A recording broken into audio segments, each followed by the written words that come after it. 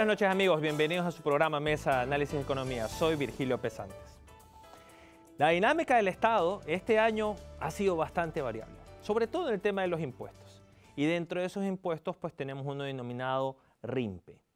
¿Quiénes tienen que pagar el RIMPE? De repente usted que nos está viendo tiene que pagar el RIMPE o de repente lo afecta y antes pagaba otro tipo de impuestos. Eso es lo que vamos a conversar el día de hoy. Para esos temas hemos invitado a la ingeniera Claudia Garzón. Ella es experta tributaria y contable, además es directora de la consultora Soluintic. Bienvenida, Claudia. Buenas noches con todos nuestros televidentes. Gracias, Virgilio, por estar en este programa tan exclusivo y muy feliz de poder resolver todas las dudas que nuestros ecuatorianos tienen hoy por hoy con todos estos cambios que se han venido dando en la legislación ecuatoriana. Muy bien, Claudia, excelente. Bueno, entrando a materia, eh, a mí me gusta siempre en, el programa tratar de verlo de una manera, de una manera global, cómo, cómo afecta cada una de las decisiones que toma eh, el presidente de la República, un ministro o de repente la Asamblea Nacional en la vida cotidiana. Y de ahí ya entrar un poquito más a los temas más técnicos. Entonces, Claudia, me, permito preguntarte que también le comentas a nuestros televidentes, ¿cuál es el papel específico de los impuestos dentro de la vida cotidiana de un país? ¿Para qué sirve? ¿Quiénes los pagan? Etcétera, como para entrar de una figura más del macroambiente para después ya ir específicamente al RIMPE. Por supuesto, bueno, tenemos que comprender que existen diferentes tipos de impuestos en nuestro país. Como sabemos, hay impuestos que van relacionados a los consumos especiales, hay otros impuestos de salida de divisas, hay otros impuestos que van relacionados al valor agregado, a lo que pagamos en bienes eh, y obviamente también en servicios dentro de, una, dentro de un establecimiento. Tenemos también otros tipos de impuestos que van relacionados con los predios y muchos más. Principalmente queremos que hoy nuestros televidentes puedan aprender un poco más sobre los impuestos que van muy relacionados a lo que son los negocios y principalmente con la consulta que nos hacías Virgilio, de qué sirve el pago de estos impuestos a un Estado, porque viéndolo de una forma global, el pago de los impuestos nos permite, dentro del Estado, permitirá el poder cubrir y estabilizar la economía y poder cubrir tantas falencias o tantas, tantas, eh, tantos vacíos, ¿verdad?, que han existido durante tantos años dentro de nuestra economía para poder realizar aquellos proyectos que no se han concretado. Hay proyectos educativos, eh, también hay proyectos del Estado que van relacionados, lógicamente, al, crecimiento justamente de esta, de esta pirámide. Hay otros proyectos de sostenibilidad fiscal que se logran gracias a este aporte que nosotros brindamos y como te decía, hay también proyectos de la educación que ayudan a cubrir. Hay proyectos de obras públicas también, es decir, que el Estado, sobre todo principalmente la Contraloría, que es quien maneja todos los bienes y, visualiza y audita los bienes del Estado, analiza que todos estos valores que nosotros pagamos como ciudadanos entren, se, se, se, definan en qué proyectos se van a utilizar dentro de todos los proyectos que tiene un Estado y se utilizan de una forma adecuada. Es una excelente pregunta, Virgilio, la que me, me hiciste. Y justamente me imagino que ahora con ese tema del RIMPE, muchos han de estar preguntándose, ¿y por qué pago más impuestos o por qué pago este impuesto y a dónde se me va la plata, no? Muy bien, muy bien, excelente, eh, muy bien, Claudia. Yo creo que está bastante claro. Este, eh, ya entrando un poquito más, más a materia, eh, este RIMPE lo paga, ¿quiénes lo paga? Lo paga una persona que está en relación de dependencia, es decir, alguien que ahorita nos está viendo en su casa y dice, bueno, yo trabajo ocho horas en una empresa privada y ahora resulta que me va a tocar pagar el RIMPE o lo paga este, el empresario, el emprendedor. Eh, ¿Cuál es la persona que tiene que estar muy pendiente del pago que tiene que hacer ahora? Por supuesto. Es importante comprender que dentro de los tipos de contribuyentes, como nos cataloga el Servicio de Rentas Internas en el Ecuador, tenemos lo que son las personas naturales, quienes estamos compuestos por personas que trabajan en relación de dependencia, es decir, que están contratadas o afiliadas bajo un empleador. Tenemos también lo que son personas naturales que tienen netamente un RICE, ¿ok? Anteriormente llamado RICE o llamado negocio popular, que venden entre cero, un centavo a 20 mil dólares. Y también tenemos dentro de las personas naturales aquellas personas profesionales, ¿verdad? Que tienen un RUC por, por cierta actividad económica estamos obligados dentro del Ecuador, determinado en, la ley de régimen tributario interno, a tener un RUC, ¿no? Tener un RUC, tener una cuenta bancaria, tener una afiliación al IES, entre otros. Entonces, estas son las personas naturales. Y también dentro de los contribuyentes tenemos, Virgilio, nosotros, eh, nuestros queridos televidentes, eh, tenemos los que son contribuyentes que se denominan sociedades. ¿no? Entre las sociedades podemos tener una sociedad anónima, una sociedad anónima simplificada, podemos tener una compañía limitada. Entonces, todos los contribuyentes, para que lo comprendamos así, que nos que superamos, ¿verdad? Que superamos, obviamente, desde un centavo hasta los 300 mil dólares, hasta los 300 mil dólares, es la regla de oro principalmente, para todos los quienes nos están viendo, somos denominados del régimen RIMPE, que este régimen es un régimen tributario, ¿ok? Para negocios populares y para emprendedores. ¿ok? Entonces, si usted hasta el cierre del año 2021, si tú, Virgilio, con tu RUC, digamos, de actividad económica, de actividad, digamos, de, de comercialización de productos varios, cerraste el periodo 2021 al 31 de diciembre con una venta inferior a los 300 mil dólares, no tienes que consultar, ni tienes que irte al SRI, ni tienes que irte a, nada. Simplemente tú eres RIMPE. Así de claro, ¿ok? Y ya vamos a hablar más adelante de cuáles son las excepciones, porque hay excepciones en toda regla, ¿ok? Muy bien, excelente, excelente, Claudia. Creo que quedó bastante clara la explicación. Eh, menos de 300 mil dólares, pues si usted vende menos de 300 mil dólares, pues tiene que escuchar claramente qué es el RIMPE, cómo se calcula, le conviene o no le conviene. Y bueno, eh, esperemos pues que eh, este espacio sea bastante interesante para que usted pueda notar, apuntar y poder declarar mejor sus impuestos. ¿Te parece, Claudia, si hacemos nuestra primera pausa en nuestro programa? Por supuesto. Muy bien. No se vayan, ya volvemos. vamos a hacer nuestra primera pausa aquí en su programa Mesa de Análisis de Economía. Eh, vamos a esperar un poquito más para recordar cuáles son nuestras redes, que son UCG Católica y UCG-TV. Así que ya volvemos con el tema del RIMPE. Hasta pronto.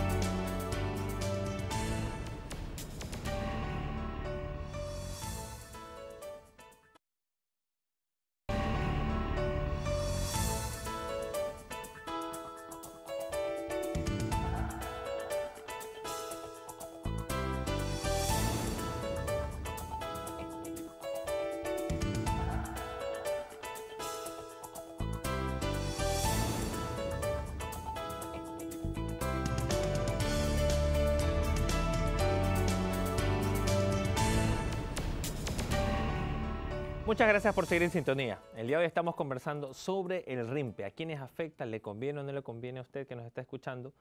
Eh, bueno, sigamos entonces. Eh, Claudia, estábamos conversando en el, primer capítulo de, nuestro programa que las personas que tienen que pagar hasta 300 mil, eh, las personas que ganan, perdón, hasta 300 mil, ya definitivamente son RIMPE. ¿Qué significa eso? ¿Qué porcentaje es? ¿Es un porcentaje de la utilidad? ¿Es un porcentaje de las ventas? ¿Cómo se hace el año pasado? Eh, por favor, explícanos un poquito más el tema. Muy bien, en ese bloque, una de las cosas principales que quiero que reconozcamos es que sí hay una diferencia entre el, el régimen anterior, que era denominado régimen microempresa, justamente que afectaba al mismo tipo de contribuyente, Virgilio, y ahora el régimen RIMPE, ¿ok? Como lo comentábamos y quiero iniciar con esto, principales diferencias son de que anteriormente yo del total de mis ventas pagaba de forma directa al servicio de rentas internas y semestralmente el 2%, sin importar si yo tenía pérdidas, si de pronto yo vendía en el, en el semestre o al año, en el 2021, si yo vendí 100 mil, si yo gasté 200 mil, igual yo tenía que pagar el 2%. En el régimen RIMPE, nosotros nos encontramos con una tabla, una tabla que es progresiva. Y por favor, anótenla y tengan, estén muy atentos, ¿verdad? Porque tienen que tenerla muy en cuenta hasta para poder estar atentos a lo que nuestros contadores o nuestros especialistas nos recomienden. Si usted vende, si usted vende de 0 a 20 mil dólares, usted va a pagar en marzo del 2023, no antes, un valor de 60 dólares, ¿ok? Porque usted está considerado y sería negocio popular en el 2022. Si usted vende de 20.001 a 50 mil dólares, usted paga el 1% aproximadamente, que son 60 dólares en marzo del 2023. Ya ahí no está considerado como negocio popular. Ahí usted está considerado como emprendedor. Pero escúcheme bien, si usted vende, no si usted vende y gasta y la utilidad o la diferencia, no. Si usted vende, usted emite, ¿verdad? Facturas, lógicamente, ese es el valor de la venta. Si usted vende entre 50 mil uno a 75 mil dólares, usted va a tener que pagar en porcentaje marginal un 1.25%, que esto sería al año 360 dólares. Si usted vende 75 mil uno a 100 mil dólares, usted paga 672,50, que viene siendo 1.50%. Si usted vende de 100 mil uno a 200 mil, usted va a pagar aproximadamente un, tipo marginal del 1.75%, lo cual significa en valores en dólares 1.047,50. Y por último, nuestro último bloque, si usted vende entre 200 mil uno a 300 mil, como lo, lo enseñamos en el primer bloque, usted va a pagar un 2%. Recién ahí, fíjese, 2.797,52. Ahora, Virgilio, ¿me permite extenderme un poquito más? ¿Y quiénes no pagan esto? ¿Quiénes solamente pagan su IVA, su impuesto a la renta según las tablas que, que los expertos manejan bastante bien relacionado a lo tributario? ¿Quiénes no pagan esto? ¿Quiénes no están obligados a pagar este impuesto RIMPE? Vamos a conversar sobre eso a continuación. Tenemos cuatro exclusiones principales, ¿ok? La primera, los que tengan actividades económicas de construcción. Construyo casas, construyo eh, eh, oficinas, doy mantenimiento en construcción y demás. No estoy obligado a estar en este régimen. Segundo, prestación de servicios profesionales. Usted es periodista, usted es contador, usted es abogado, tiene un libre ejercicio profesional. Usted no está dentro de esto, ¿ok? Asimismo, tampoco los que sean representación a nivel de transporte, actividades agropecuarias, actividades de combustible, ¿ok? Van dentro de esto como prestación de servicios profesional, ¿ok? Tercero, los receptores de inversión extranjera directa y aquellos que desarrollen actividades en asociación público y privado. Si tú facturas relacionado a esta inversión extranjera directa, tienes una filial de algún lugar, eh, una oficina en, Madrid, en, en Londres, pues obviamente tú también estás excluido de este régimen. Y por último, todos los que estén relacionados al sector de hidrocarburos, laboratorios médicos, farmacéuticos y actividades de seguros. Entonces, podemos decir hidrocarburos, como el último punto, temas de laboratorios médicos, farmacéuticos y actividades de seguros. ¿Ok? Eso sería, Virgilio, lo que nuestros televidentes tienen acá que conocer con relación a este tema y lista para resolver el resto de dudas. Muy bien, Claudia. Eh, ¿Cuál eliminó o cuál sustituyó? Porque uno regularmente eh, está siempre pendiente del Twitter, por ejemplo, y uno ve que el presidente de la República había prometido, eh, cuando estaba en campaña, que iba a eliminar ese 2% que se, le, que se paga eh, por parte de las microempresas. Y de repente uno revisa y, bueno, igual se paga el 2%. ¿qué, ¿Qué fue lo que pasó? O sea, no es que se eliminó del todo, sino que se hizo una tabla o fue sustituido el otro impuesto. Finalmente, ¿qué pasó? Excelente. Bueno, no por entrar en un debate político ni demás, pero es muy importante ¿no? poder enseñar a quienes nos están viendo, a quienes nos están escuchando, justamente para que logren comprender. No se eliminaba absolutamente nada. Lo que sucedió fue que se reemplazó. Ahora ya no pagamos el 2% de forma directa, lo que sí hacemos es pagar un impuesto, justamente la, recaudación histórica que ha tenido el Servicio de Rentas Internas en los últimos años ha sido gracias a este régimen microempresas que estuvo vigente hasta el 2021 y en la actualidad, pues que recién empezará a recaudar lo del régimen RIMPE a partir de marzo del 2023. Pero es muy importante entender que nada se ha eliminado. Y también es importante comprender que el pago de impuestos, en este momento, mis queridos televidentes, Virgilio, en este momento, la la fuente más directa y más fuerte que recibe el Servicio de Rentas Internas justamente viene de los negocios populares y de los emprendedores. Porque si tú te das cuenta, Virgilio, el resto solo paga, ¿no? Lógicamente, paga su IVA, paga su impuesto a la renta. Pero nosotros, ¿verdad? Pagamos un tercer impuesto que se denomina RIMPE. Eh, muy bien, bueno, es algo que van a tener que tomar en cuenta los emprendedores al momento de poner, eh, al momento de poner su negocio. ¿Qué, pasa, Claudia, con aquella persona que tiene ya una factura? Y esa factura, no sé, pues le caduca eh, en junio del 2022 y ya estaba en otro régimen. Recuerdo que en las facturas a veces muchas de ellas te ponen régimen, etcétera. ¿Qué pasa con esta factura? las personas tienen que salir de, después de ver el programa y el día de mañana agarrar e ir al SRI a eliminar esa factura o esa factura igual sirve. ¿Cómo funciona eso? Bien, como, como lo mencionamos al inicio, no es necesario que nos acerquemos al servicio de rentas internas porque si cumplimos con el requisito de no estar en las actividades excluidas y cumplimos en el requisito de que no superamos los 300 mil dólares, definitivamente lo que nosotros tenemos que hacer es colocarle de forma manual o pedirle a la imprenta un nuevo facturero, ¿verdad? Y decir que ya no diga régimen microempresa, o abajo de lo que decía régimen microempresa para que no gastes hasta que se te caduca tu facturero. Esta es una recomendación muy valiosa que le está viendo a través de este canal tan valioso, es colocar la leyenda negocio popular y emprendedor, porque ese es su régimen actual, ya no es régimen microempresa. Y de esa forma tu cliente te la tiene, por supuesto, por ley que recibir y pagar sin mayor problema. Porque tuve muchos casos de clientes en nuestra consultora contable, Virgilio, que me llamaba, me decían, Claudia, no me quieren aceptar la factura, ¿y ahora qué hago? Y yo ni he estado, me decía, sé que me comentaste, que me capacitaste, yo ni entendía cómo, cómo funcionaba esto, porque es difícil. Algo que tenemos que comprender es que si no es fácil para un contador, no es fácil para nosotros como consultores comprender todos los cambios que han existido. Imagínate tú, Virgilio, para un emprendedor, que ya de por sí es difícil vivir el día a día con, todas las, con toda la carga laboral y tributaria de nuestro país. Muy bien, Claudia. Yo, creo que está bastante, bastante claro. ¿Te parece si hacemos una nueva pausa aquí en nuestro programa? Perfecto, así es. Excelente. Bueno, muchas gracias por seguir en sintonía. Vamos a hacer una nueva pausa. Al regresar el corte, vamos a conversar sobre ya eh, un caso específico eh, de un ejercicio para que usted pueda asimilar, entenderlo mejor y así pues sepa cómo tiene que pagar. Y bueno, la pregunta más importante, finalmente, ¿le conviene o no le conviene en función del año pasado? Entonces ya volvemos para conversar de esto y más otros temas.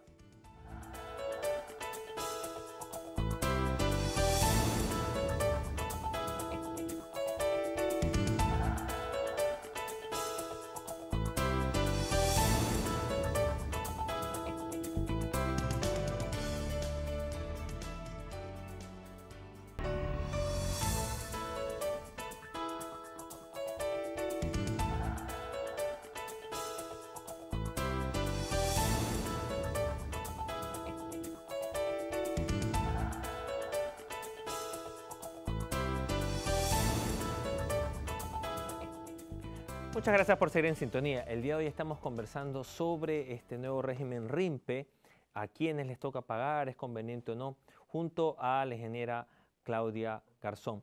Eh, Claudia, siguiendo con este tema, ¿cómo, algo que, le puede surgir como duda a, un televidente es decir, bueno, a mí me toca pagar esto, ¿no? Vamos a imaginar si está entre los 200 y los 300 mil. Le toca pagar el 2%. ¿Ok? Y dice, bueno, me toca pagar el próximo año el 2% sobre lo que venda, gane o pierda, es lo que nos acabas de decir. Vamos a imaginar, esa, y esa persona, ese empresario, pues perdió dinero por tantos motivos que pudieron haber pasado, perdió 20 mil dólares y aparte de lo que perdió los 20 mil dólares, le va a tocar pagar este, esos 2 mil, 3 mil dólares adicionales de impuestos. ¿Cómo se calcula esto con las grandes empresas? Eso es algo que regularmente uno también se dice, bueno, ya, pues yo soy pequeño, me toca pagar, eh, todos estamos colaborando, todos estamos cooperando. ¿Cómo, ¿Cómo colabora la gran empresa? Porque en el primer bloque habíamos conversado que ese dinero sirve para salud, para educación, para policía, para seguridad, etcétera, pero uno tampoco es que quiere aportar solo. Entonces, ¿cómo, sería en ese caso? ¿Le pasó algo distinto a la empresa privada a la grande o ellos siguen igual? Es una excelente pregunta. Recordemos que nosotros en el régimen RIMPE pagamos eh, el IVA normal, ¿no? IVA cobrado versus IVA pagado. Nosotros pagamos el impuesto a la renta también, lógicamente que también generalmente deducimos bastantes gastos, porque al ser una empresa pequeña, pues lógicamente hay una gran diferencia entre la gran empresa, ¿no? Y pagamos lo que es el RIMPE. Eh, dentro de este esquema de cultura tributaria también ha habido grandes cambios y justamente diferencias en deducciones para las grandes empresas, para que todos nuestros televidentes puedan comprender un poquito más. En el pago de la liquidación del impuesto a la renta en lo que es régimen general, una empresa grande, hablemos Virgilio, digamos que vende, no sé, pongamos también valores eh, no tan fuertes, ¿no? digamos que vende 500 mil dólares. Sí, una empresa mediana, pudiéramos decir, pero que no pertenece al régimen RIMPE. Entonces, en el régimen RIMPE, ¿verdad? Si vendió 500 mil dólares eh, y pues esta misma empresa, en este caso, eh, pongamos un poco más, pongamos 700 mil dólares vendió, ¿ya? Y 200 mil dólares tuvo de gastos. Entonces, la diferencia que vienen a ser ahí, sí, 500 mil dólares, de esa diferencia tú pagas impuesto a la renta. ¿Y cómo funciona esta tabla? No es una tabla tan sencilla como la del RIMPE. En este caso nosotros tenemos una fracción básica, que en el, para el año 2022 les cuento, la fracción básica mínima para una empresa que tiene una utilidad, la diferencia entre la venta y el gasto total de lo que sí permite la deducibilidad, es de 61.630 dólares. ¿Ok? Nosotros terminamos pagando un impuesto, fíjense ustedes, para que vamos calculando el porcentaje, un impuesto aproximado, en este caso, de 185 mil dólares. A nivel, eh, con una utilidad de 500 mil dólares, a nivel de, del régimen general, Virgilio y todos nuestros televidentes, nosotros estaríamos entrando a pagar un 37% de impuestos. Es decir, que de tu utilidad, ahí ya no coges tú netamente las ventas, tú compartes un 37% para calcular. Lógicamente que también las empresas hay que tener en cuenta, dependiendo de su patrimonio registrado en la Superintendencia de Compañías, tenemos que pagar cada año el 1%. Entonces, súmale, súmale, Virgilio, impuestos, súmale aranceles, súmale todo. O sea, sí es interesante comprender la gran diferencia que existe, porque vuelvo al tema, si nosotros tenemos una utilidad alta, se paga muchísimo impuestos. Si nosotros, en efecto, netamente vendemos 300 mil o hasta 300 mil, pagamos estos 2.797 que te contaba. Pero en el impuesto de renta generalmente, y te lo digo por el esquema que presentó el Servicio de Rentas Internas, como que de la cultura tributaria de los últimos cinco años, generalmente el negocio popular y el emprendedor no paga impuestos. Es una realidad muy triste, muy dura, muy innata en nuestra cultura ecuatoriana. Si tú revisas, y como te decía, son cifras históricas y millonarias en la actualidad, si tú revisas el recaudo de los últimos años, si no fuera por el recaudo del régimen microempresa, que empezó hace dos, tres años atrás, y el recaudo ahora de lo que se proyectó para el régimen RIMPE, nosotros en el Ecuador no tuviéramos de parte de los que tienen RUC ingresos de impuestos. ¿Puedes tú creerlo? Terrible, ¿qué hace? ¿Que ¿Es porque no facturan? ¿Es porque, no sé, pues le dicen a su contador que vea qué respuesta puede tener para no pagar? ¿Qué, crees que pasa? todas las anteriores, todas las anteriores. O sea, realmente la informalidad tributaria es algo con lo que Soluinter ha venido y muchos contadores a nivel nacional hemos venido nosotros, eh, obviamente, apaciguando, hemos venido culturizando. Lógicamente no es algo que va a pasar de la noche a la mañana. Yo creo que justamente esto que está sucediendo ahora, este régimen RIMPE, nos obliga a los ecuatorianos a dos cosas, ¿ok? Nos obliga a dos cosas. Primero, al ahorro y segundo, el presupuesto. Yo creo que es súper importante porque una cosa es que yo te diga, Virgilio, hoy en tu negocio, en tu emprendimiento, por favor, de todo lo que tú vendas, en tu costeo financiero, calcula que un 2% como máximo va a ir para el Estado. Entonces tú ya en tus fórmulas, tú ya presupuestas esto, ¿ok? Y lo segundo es que si en el mes, porque esto es algo clave, mis queridos televidentes, si en el mes yo ya, yo ya vendí 10 mil, mira que vamos vendiendo poquito a poquito, ¿no? Vendí 10 mil, gasté 5 mil, pero yo ya sé que esos 10 mil yo voy a dejar un 2% en otra cuenta bancaria. ¿Por qué? Porque yo no voy a esperar hasta que se termine el año, al cierre de diciembre de 2021, para decir, a ver, 10 mil por 12 meses son 120 mil. Ahora sí, Virgilio, saquemos esos, de esos 120 mil el me invento, sería en la tabla RIMPE, sería aproximadamente, saquemos esos 1.047,50 para pagarlos en marzo 2023. Ya te Seamos honestos con nosotros mismos. No los vamos a tener, Virgilio, no los vamos a tener. Muy bien, muy bien, Claudia. Claro, es, es, un excelente consejo y de hecho para todos nuestros televidentes que con tiempo vayan ahorrando, ahora ya tienen una tabla, saben de que en función de sus ventas está y bueno, es más sencillo porque agarras, si vendiste 10 mil, ya sabes que tienes un porcentaje que ir guardando poco a poco todos los meses, como bien dijiste, en una cuenta bancaria adicional. Bueno, te agradezco mucho, Claudio, se nos ha acabado el tiempo. Realmente ha sido bastante interesante conversar contigo de estos temas de, de impuestos. Un placer, siempre para resolver sus dudas. Gracias. Muchas gracias. Y muchas gracias a ustedes también, queridos televidentes, por acompañarme semana a semana aquí en su programa Mesa de Análisis de Economía. Los espero el próximo lunes para seguir conversando temas de interés nacional. Hasta pronto.